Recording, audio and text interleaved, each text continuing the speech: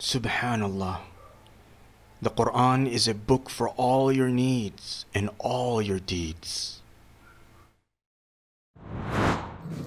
You say, I'm a failure. But Allah says, the believers are successful.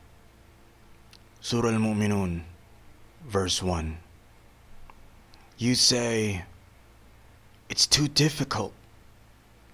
But Allah says, with every difficulty, there is ease. Surah Sharh, verse 6. You say, No one can help me. But Allah says, It's upon us to help the believers.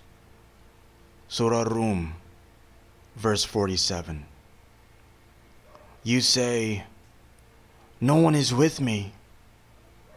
But Allah says, No doubt, I am with you. Surah Taha, verse 46. You say, I'm too sinful. But Allah says, He loves those who repent. Surah Al Baqarah, verse 222. You say, The religion is too hard. But Allah says, He wants ease for you.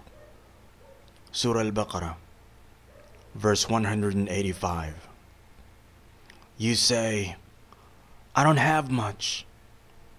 But Allah says, For those who believe and do righteous deeds is a generous provision. Surah Al Hajj, verse 50. You say, I'm always sick. But Allah says, We've sent down the Quran as a healing. Surah Al Isra, verse 82. You say, I'm overburdened. But Allah says, Allah will not burden a soul more than it can bear. Surah Al Baqarah, 286. You say, I feel lost. But Allah says, and He found you lost, so He guided you. Surah Duha, verse 7. You say, I'm too ugly.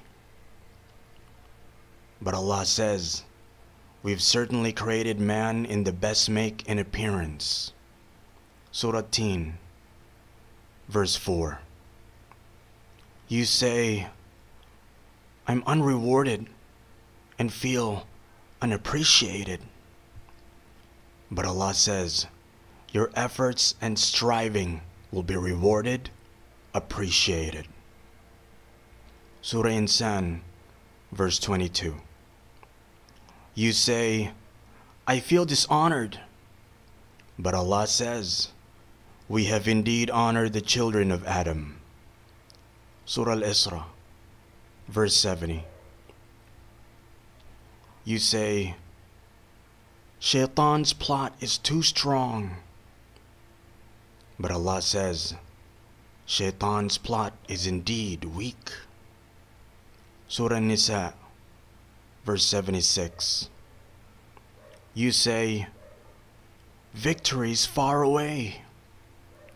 But Allah says, The victory of Allah is indeed close.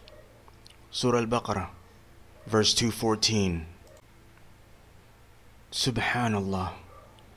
The Quran is a book for all your needs and all your deeds.